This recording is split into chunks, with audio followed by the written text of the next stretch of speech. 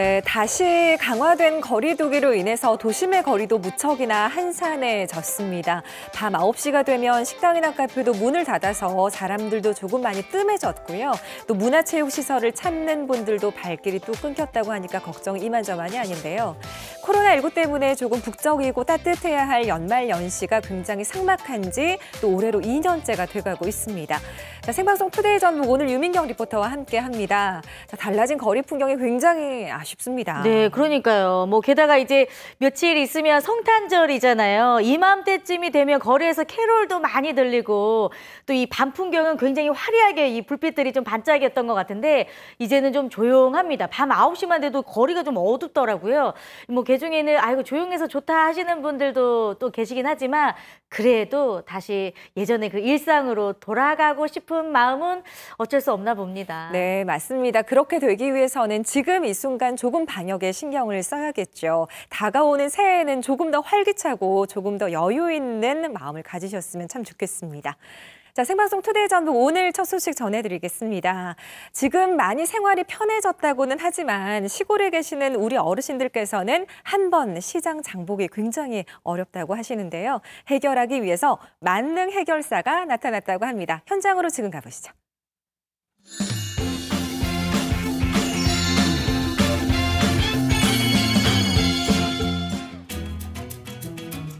맑은 샘이 흐르는 고장 샘골 정읍에서 특별한 장터가 열렸습니다. 각종 먹거리와 생필품 등 온갖 만물이 향하는 곳은 다름 아닌 3.5톤 탑차인데요.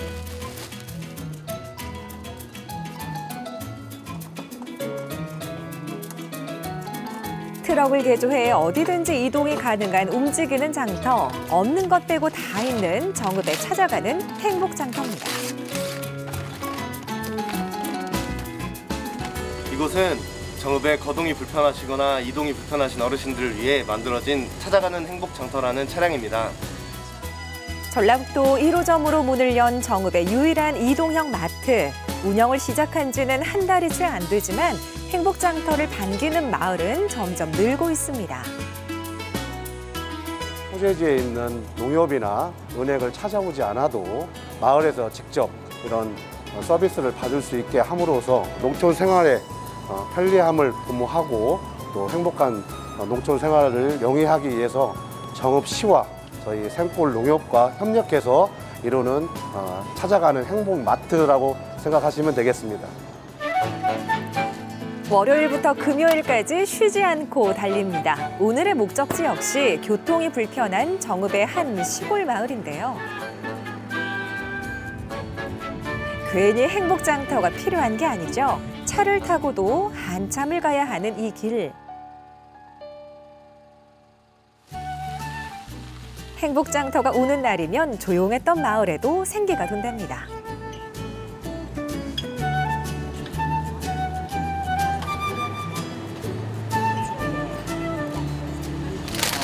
장난도 있고 설탕도 사고 여기 있는 그뭐 두부도 사고 식용유도 사고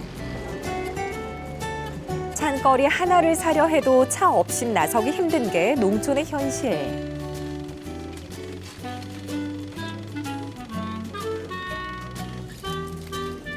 우리 지역에서 나고 자란 신선한 식재료부터 생활에 필요한 공산품까지 장 보는 재미가 쏠쏠합니다.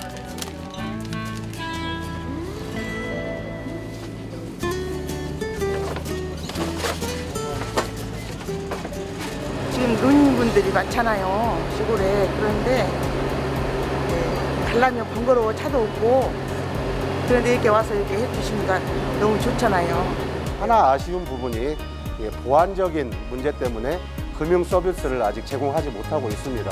저희가 이 보안적인 부분을 어, 빠른 시간 내에 해소해서 어, 이제 마을에서도 내가 돈을 찾고 또 입금도 할 수 있는 금융 서비스까지 제공할 계획을 갖고 있습니다.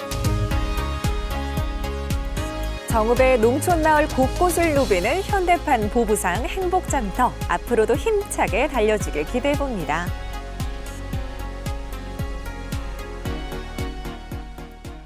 네, 이 찾아가는 행복 장터 덕분에 이 시골 마을 어르신들의 삶이 굉장히 편해진 것 같은데요. 예전에는 한 번 장을 보기 위해서는 굉장히 차를 타고 멀리 이동을 했다고 하죠. 네, 맞습니다. 그리고 어, 또 그 예전에는요, 이 시골 마을을 돌아다니는 만물상 트럭이 있었거든요. 정말 없는 것 빼고는 아주 그냥 물건을 가득가득 싣고 다니는 이 만물상 트럭이 이 동네에 도착하면 온 마을 사람들이 나와서 장도 보고 이야기도 나누고 그런 정겨운 어, 풍경들이 좀 있었는데 이 행복 장터 트럭을 보니까요, 굉장히 그 푸근함도 느껴지면서 이 조용했던 마을에 굉장히 그 활력을 줄 수 있을 것 같아서 어르신들이 굉장히 좋아하시겠어요. 네, 맞습니다. 이 행복장터 찾아가는 행복장터 트럭은 평일 내내 정읍시에 있는 40여 개 마을을 돈다고 합니다. 이 트럭으로 인해서 정읍에 계시는 많은 어르신들 분께서 행복을 찾으셨으면 좋겠습니다.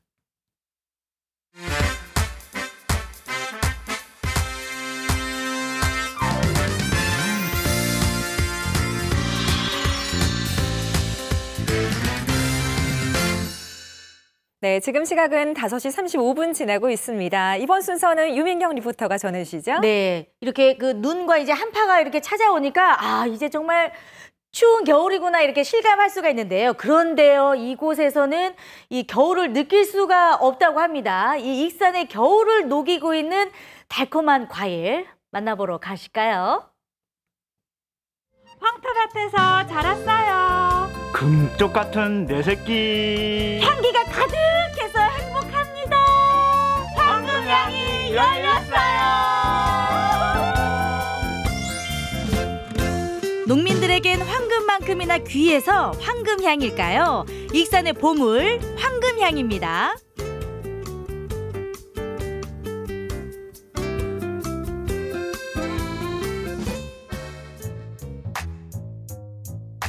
세상이 온통 겨울빛으로 물들어도 꿋꿋이 초록빛을 띠는 곳이 있습니다. 어, 보기만 해도 그냥 입안에서 벌써 과즙이 그냥 팡 터지는 것 같다. 어, 너무 예쁘다. 어, 안녕하세요. 안녕하세요. 어메, 어메, 세상에 어쩌을까요? 와, 아니, 지금 한참 수화철인가 봐요. 네, 맞습니다. 아니, 진짜로 황금이 달려 있는 것 같은데요? 네. 황금향은 12월부터 수확하는데요. 지금이 제일 맛이 좋을 때입니다. 황금향은 감귤보다 수확 시기가 늦은 만감류 중 하나인데요. 천혜향과 한라봉을 교배해 장점만을 쏙쏙 담아낸 품종입니다. 보통 12월에 수확을 하는데요. 첫눈이 내릴 즈음 가장 단맛이 강하다고 합니다. 아니, 익산에서도 이게 황금향이 농사가 잘 되나 봐요. 예, 저 농사의 기본적인 토양이 좋고 황토로서 토양이 좋고 햇빛이 풍부해가지고 저 농사가 잘 되고 당도가 더 높아집니다. 익산 땅은 물 빠짐이 좋은 황토인데다 일조량이 여느 지역에 비해 아주 풍부하다고 해요. 망감류 재배에 최적의 조건을 갖고 있는 거죠. 아니, 처음부터 그냥 꼭지 바짝 자르면 되는 거 아니에요? 네, 근데 망감류는요, 이 결과지는 다음에 쓸 수가 없어요. 별로 쓰임이 없어서 그걸 따져야 다음에 또 새순이 나와서 새로운 망감류를 열리, 열리면 좋거든요. 황금향을 재배해 온 지 9년째. 박인경 씨 부부는 어느새 농사의 달인이 됐다는데요. 저도 부지런히 일손을 보탭니다. 이렇게 해서 가지만 잘랐을 뿐인데 어 향기가 와 좋 아 아니 그나저나 어머니 아버님 요것이 제가 참 황금향은 좋은데요 풀도 잘 키우셨네요 아니 풀이 이렇게 지저분해도 되는 겁니까? 저희는 제초제나 이런 약을 하지 않고 자연적으로 초생 재배를 하고 있어요. 그래서 풀과 같이 키우고 있어요. 아, 그럼 이렇게 풀들도 놓아가지고 이렇게 만들어낸 이 저기 황금향이 얼마나 맛있을까요? 안 먹어봐도 사실 되게 새콤달콤할 것 같은 맛이긴 한데 아 이게 그렇구나. 음. 그러면 좀 드셔보실래요? 예, 예, 아버님. 예, 제가 오자마자 사실 맛을 보고 싶었는데 이게 너무 귀한 거라.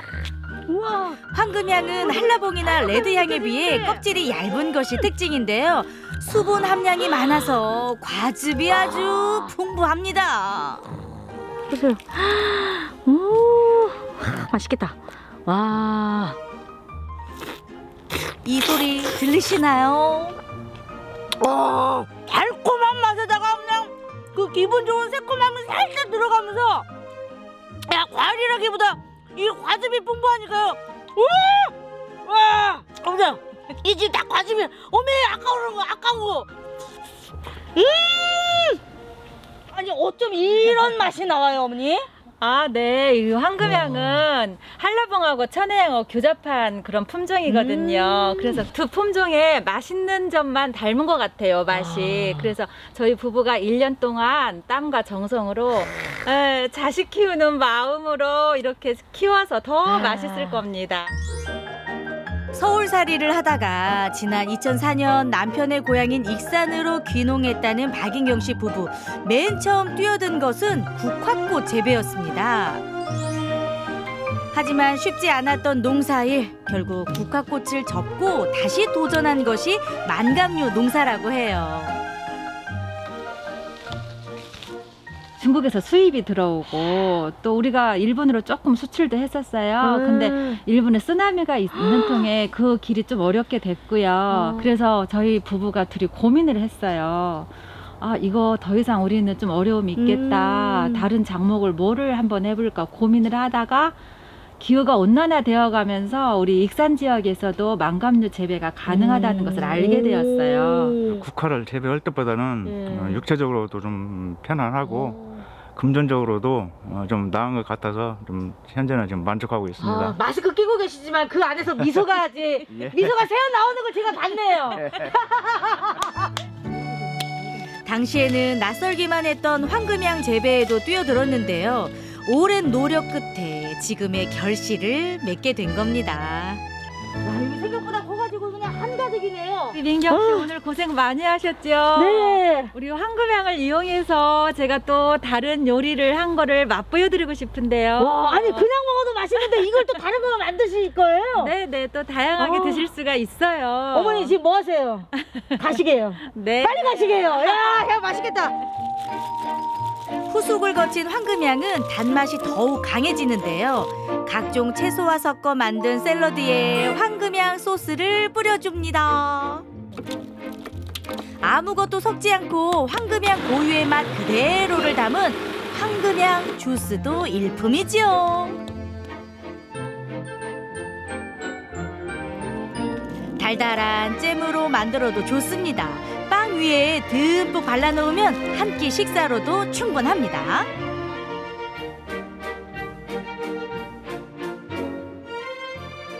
보고만 있어도 그야말로 그냥 그 비타민 뿜뿜 하는 거 있잖아요. 저는 이게 여러분 이게 그냥 100% 황금향 천연 주스거든요.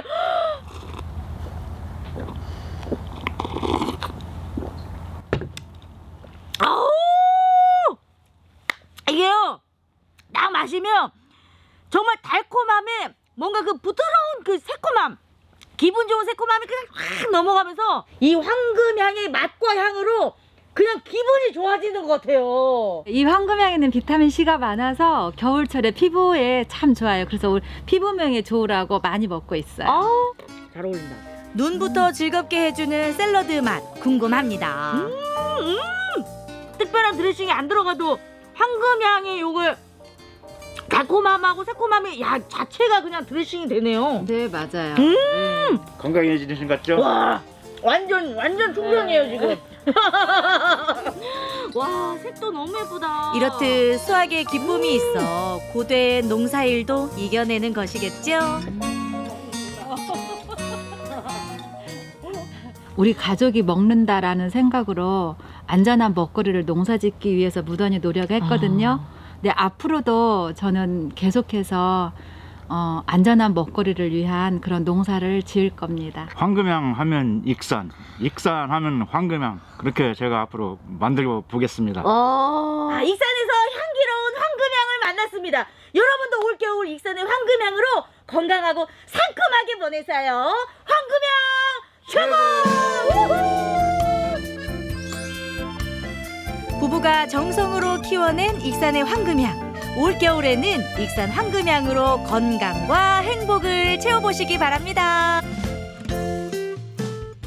네, 황금향 모양부터 보니까요. 이 레드향이나 한라봉과는 조금 다르더라고요. 네. 생소하신 분들도 있겠죠. 그럴 것 같아요. 이 황금향은요, 일단 그 천혜향하고 그 저 한라봉을 이렇게 교배해서 만들어진 건데요. 이 두 과일의 장점을 모아서 이렇게 또 만들어낸 과일이니까 또 얼마나 맛있겠어요. 이 9년 전부터 이 황금향을 재배했다는 우리 박인교 씨 부부는 또 그 자부심도 아주 또 대단하시더라고요. 네, 귀농 후에 정착을 하기까지 정말 쉽지 않은 시간과 과정이었을 텐데 이제 뭐 만감류는 익산에서 이런 수식어가 좀 따라다닐 것 같습니다. 아우 당연하죠. 아직도 이 망감류는 제주도에서만 난다고 생각을 하시나요? 아니죠, 아니죠. 이 가까운 우리 익산에서도 이렇게 아주 맛있는 과일이 탐스럽게 익어가고 있습니다. 이 황금향은요, 12월을 이제 수확을 쭉 하면서 그 뒤로 뭐 레드향과 또 이 천혜향이 쭉쭉쭉쭉 또 수확이 된다고 하니까요. 많이 많이 사랑해 주세요. 네.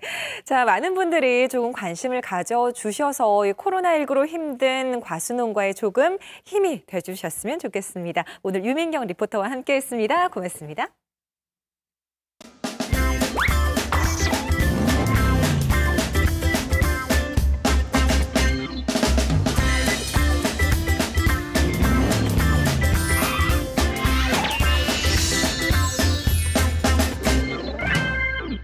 네, 날이 갈수록 겨울 추위가 매서워지고 있습니다. 이번 주말쯤에도 한파가 예보돼 있는데요. 이 농한기를 맞아서 겨우살이를 하는 우리 농촌마을 어르신들의 모습도 조금 궁금해집니다. 이웃 동네 마실돌기 오늘은 전라남도 무안으로 떠나보겠습니다. 안녕하세요. 무엇이다? 카메라 갖고 하고 있구나. 뭔 사진 찍은다? 방송국에서 나왔어요. 방송국에서? 예. 왜내 얼굴 찍으려고. 내 얼굴 찍으려. 예. 근데 왜 이렇게 나오셨어요? 추운데? 이런 거 이뻐 하시니까 핫단게. 풀이요? 응. 그런 게 왔어. 차 죽겠어 그런데. 헤이 바달라 띨싸 크그마는 아이 언제 다 매식가라 여라고 추운 날은 좀 쉬시지 이것을 해야 밥은 먹고 산다고. 그나라면 밥못 먹어. 돈이 뺑서 나와라. 일평상을 요령 한번 안 버리고 이 땅을 일굼터 그러게 당신들 지금 다 해왔는데 아직도 할 일이 겁나답니다 자식만은 우리 부모 근심 걱정은 제일 날 없다고 엄마가 항상 걱정할 게라고 자식들은. 세월이 아무리 가도 강산이 몇 번을 바뀌어도 내야 자석들을 향한 내리 사랑은 깐딱 않고 그대로입니다. 끝도 gat도 없는 그 마음으로 지선 세상 속으로 마실 갑니다.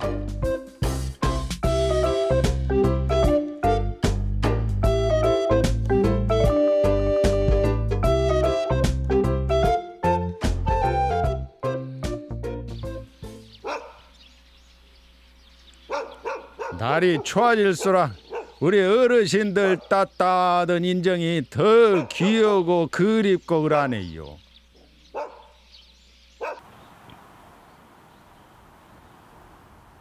햇도 따따더니 세월을 뜨고 계신 우리 엄니를 본 게 마음이 푸근해지네요. 그나 무엇을 뜨고 계신데요? 옛날에 배워놓은 게 심심한 게 집이 있으면서 심심해서 내가 작년에 한낙숙 떠서 설거지 하라고 갑시들 다 한낙숙 줬어. 연어 하나 드릴까? 아이고. 감사합니다. 할머니 제가 근데 받아도 돼요? 괜찮아? 진짜 가져가. 거짓말 하면 안 되지. 우리 손자 같은데. 아이고 감사합니다. 하나 주면 정이 없고 아, 연어 하나 이쁜 놈 하나 줘야서 또 주시게요? 응. 뭐 내가 줄 것이 없어 아이고 감사합니다. 아흔 고개를 댕구 심서는 일은 싹 내려놔불고 요런 취미 생활에다가 재미를 붙이고 지내신디요. 전에는 감히 꿈도 못 꿨던 세상이랍니다. 세월이 빨리 갔죠. 칠수 없이. 꽃도 많이 심으셨네요. 꽃은 보면 한정이 이뻐. 한평생 키우고 가꾸면서 살아오신 그 성정으로 시방은 꽃에 정성을 들이면서 살으신답니다. 어, 우리 산밭에 꽃 봐. 저기도 있고 저기도 있고. 저 하우스에다 그렇게 따뜻히 살으라고 또 거기다 또 못해 놨어.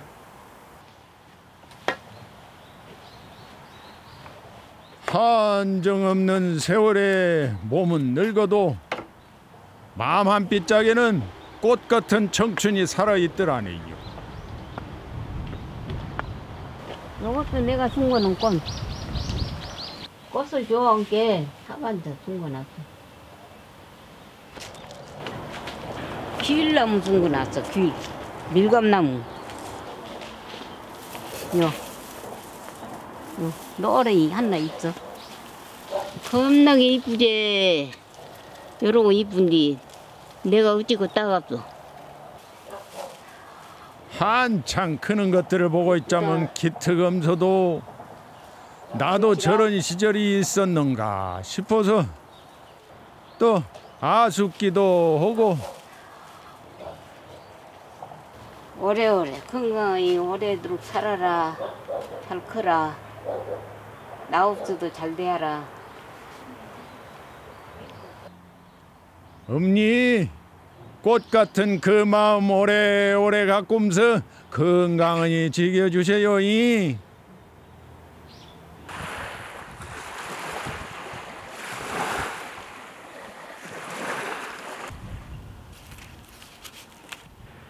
아따 요 밭은 시안에도 푸릿푸릿하니 딱 본께. 요 엄니도 쉴 줄을 모르시구만이라니 인자 쫓게 일상으로 돌아간가 싶더니 다시 또 요놈의 역병이 말썽이니 그렇게 대대 판매로 나오셔버렸답니다 시아버지겠고 시어머니겠고 함께 우리 시아버지나 일을 잘 못하니까 농사 짓고 농사 남자 없어도 농사 짓느라고 고생 많이 했어라 그런데 오고 남게 이제 세상 태놓고 좁디다 이제 아버님은 일을 잘 도와주세요. 집안일은 잘 안 해도 들일은 내 손 안 대도 잘해요. 아 이거 추워서 못 먹었어. 집에 갑시다. 추워서.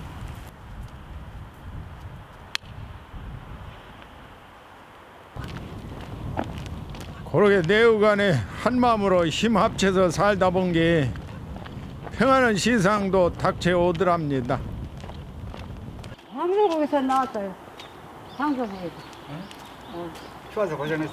아, 안녕하세요. 네, 안녕하세요. 방송국에서 나왔어요. 아, 그랬어요. 고생하시오. 여기 덕산 동네는 암만 살림이 강피하게 했을 때도 내 입보다 넘 입에 들어가는 것을 더 귀연히 여기면서 복을 지어 오셨더랍니다. 설탕 탔는가? 탔어. 안 탔으면 더 많이 타야지. 더 아, 다. 설탕 감도 없어. 젖어야지.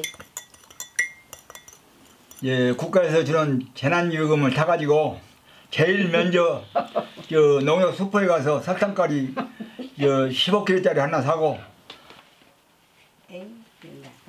그나 설탕력인가 어쩐가는 몰라도 두 분이 한평생 달달하게 살아오셨더랍니다. 요 마을에 소문난 인꼬 부부시라네요. 걷다가 내후에 동갑내기셔 갖고 한갑잔치도 칠순잔치도 한끈에 치르고 때로는 친구맹이로 의지엄서 손맛 잡고 살으신답니다. 엄마 아버지가 싸우기나 하고 잘못 오면은 얘기들이 번개 번, 번을 따라. 그래가지고 대부분 보면 그러더라고. 그래서 될 수 있으면 서로 양보하고 그렇게 하면 또 내, 나도 편하고 또 상, 상대방에서 편하고 그래서 그렇게 인생살이가 사는 것이 뭐꼭 특별히 뭐 잘만 해서 사는 것도 아니고 아무이라 앞으로도 그저 서로 애깨감서 알콩달콩 해로 오셔요 이.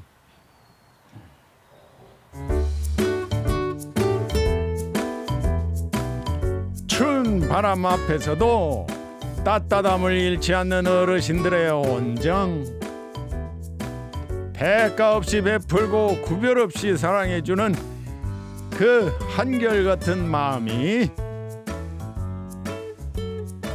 이 폭폭한 세상 속에서도 항시 희망을 불러들이는 모양입니다.